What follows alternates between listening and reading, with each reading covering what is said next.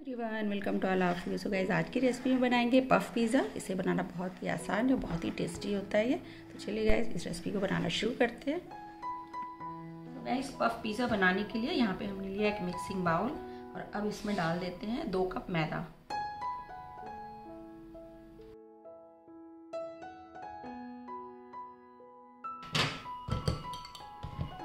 और अब इसमें हम डाल देंगे एक टेबल स्पून ये है घी। तो यहाँ पे आप ऑयल भी डाल सकते हैं बट यहाँ पे हम घी डाल रहे हैं। हाफ़ टी स्पून अजवाइन डाल देंगे इसमें हाफ़ टी स्पून सॉल्ट डाल देते हैं।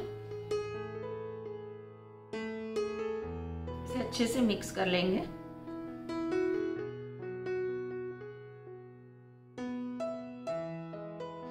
ये घी है ना, इसको अच्छे से हाथ से ही मिला देते हैं।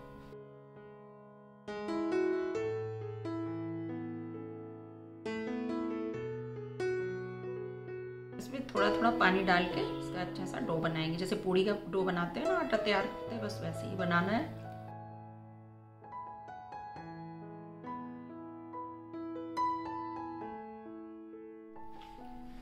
डो रेडी हो गया है, बस इसमें हल्का सा ऑयल लगा देंगे। ऑयल लगा के इसको कवर करके रख देते हैं। अब चलिए इसकी जो फिलिंग है ना, तैयार करते हैं।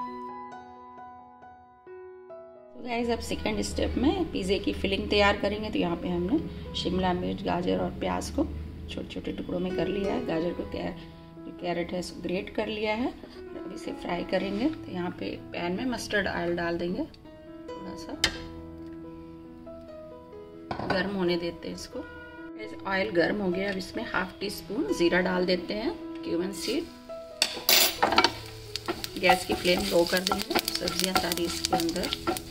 डाल देते हैं। तो यहाँ पे हमने taste wise onion carrot and capsicum ले रखा है। आप अपने टेस्ट वाइज और भी सब्ज़ियाँ इसमें डाल सकते हैं। तो सब एक साथ ही हमने डाल देना फिर इसे फ्राई करेंगे।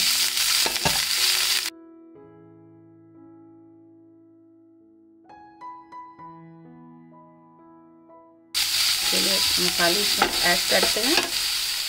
यहाँ पे हमने red chilli flakes half teaspoon डाल दिया और थोड़ी सी हल्दी डाल देते हैं। दो तीन पिंच हाफ़ टी स्पून के करीब ही हमने इसमें सॉल्ट डाल देना है, बहुत सॉल्ट नहीं डालना। क्योंकि मैंने आटे में भी सॉल्ट डाला हुआ है। तो बस इनको मिक्स कर लेते हैं। सब्जियों को दो से तीन मिनट तक बस, अब गैस की फ्लेम थोड़ा हाई कर देंगे। और इसे दो से तीन मिनट तक इसी तरह से फ्राई करेंगे। बहुत ज़्यादा इसको गलाना नहीं है, पानी भी बिल्कुल भी नहीं ऐड करना है इसमें, कुछ भी नहीं डालना है।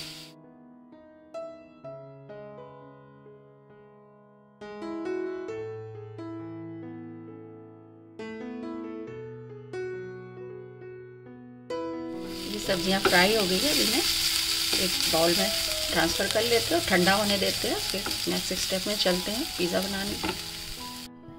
इसे पूरी तरह से ठंडा होने देंगे, फिर इसको फिल करेंगे पिज़्ज़े में। यहाँ पे हमने दो एक पोर्शन लेकर के इस तरह से रोटी जो है बड़ी सी एक बना लेनी है। और उसके बाद इस तरह से यहाँ पे इसकी स्ट्रिप बना लेनी स्ट्रिप काट लेनी है इसकी। अब इसमें स्टफिंग करेंगे।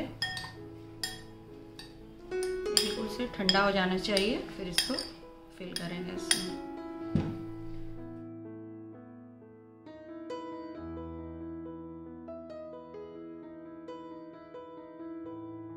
यहाँ पे ना मोजरेला चीज़ है, उसको डाल देते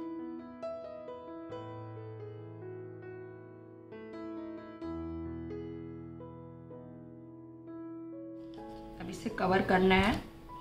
थोड़ा सा पानी लगा देते हैं इसके बॉर्डर पे एज पे से अच्छे से ये चिपक जाएगा।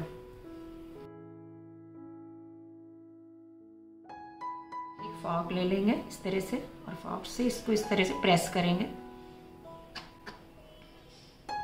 चिपका देंगे तरह से।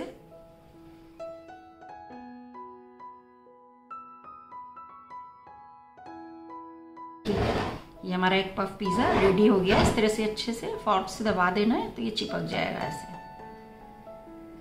चलिए, इसी तरह से दूसरा वाला भी रेडी कर लेते हैं।